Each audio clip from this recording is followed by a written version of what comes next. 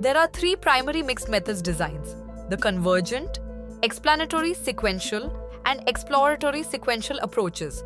The convergent design involves collecting quantitative and qualitative data simultaneously, then merging results for a comprehensive understanding.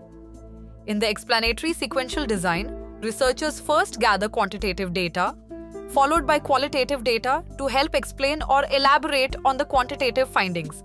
Conversely, the exploratory sequential design begins with qualitative data collection, which then informs subsequent quantitative research.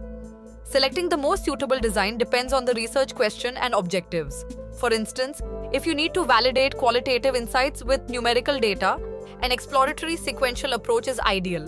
If your goal is to clarify statistical trends through in depth exploration, the explanatory sequential design is more appropriate. When both data types are equally important and can be collected concurrently, the convergent design offers a balanced perspective. Hit subscribe and stay updated.